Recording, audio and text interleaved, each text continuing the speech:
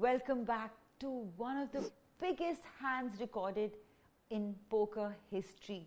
यहाँ पे आप देख सकते हैं Daniel Negreanu versus Esfandiari versus Tom Dwan Esfandiari ने फाइव बेट डाला है पॉकेट किंग्स के साथ फोर्टी वन थाउज़ेंड डॉलर से.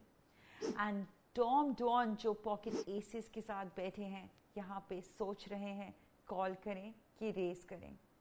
वेल well, बिना ज़्यादा टाइम वेस्ट करे वो यहाँ पे ऑल इन चले गए हैं of three hundred thousand dollars well मुझे नहीं लगता पॉकेट किंग्स यहाँ फोल्ड कर पाएँगे और यहाँ पे वो ये कॉल करेंगे।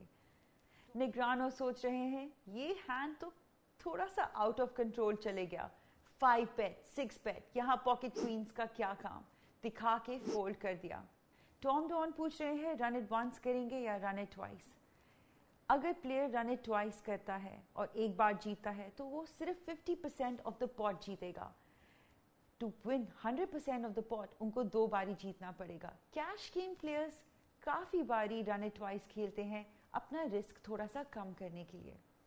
वेल well, इस फ्लॉप पे ten of clubs seven of spades और नाइन ऑफ़ डायमंड्स पे एसेस वर्सेस किंग्स एसपेंदियारी को सिर्फ़ एक किंग ही बचा सकता है।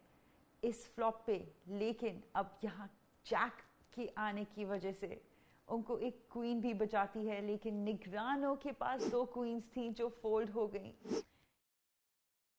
फ़र्स्ट वाला जीता टॉम डॉन ने। अब ये सेकंड बोर्ड रन हो रहा है। सेकंड बोर्ड पे यहाँ पे अगर रनर रनर हार्ट्स आएँगे तो शायद एस एसपिंदियारी जीत सकते हैं अपने पॉकेट किंग्स के साथ। ये सिक्स का टर्न पे आने से एस एसपिंदियारी के आउट सिर्फ़ और सिर्फ़ वो दो किंग्स ही बचे। Well no luck for the magician and Tom Dwan फिर से इतना बड़ा हैंड जीते हैं। Almost around five crore in Indian rupees well done Tom Dwan